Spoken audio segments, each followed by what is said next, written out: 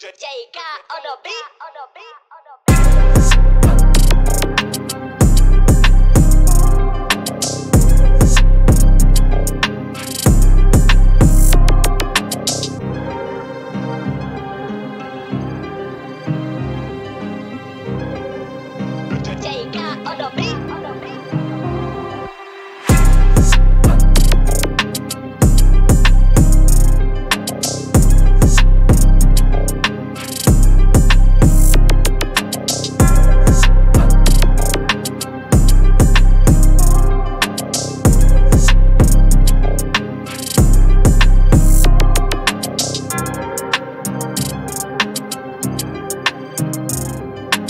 Compra tu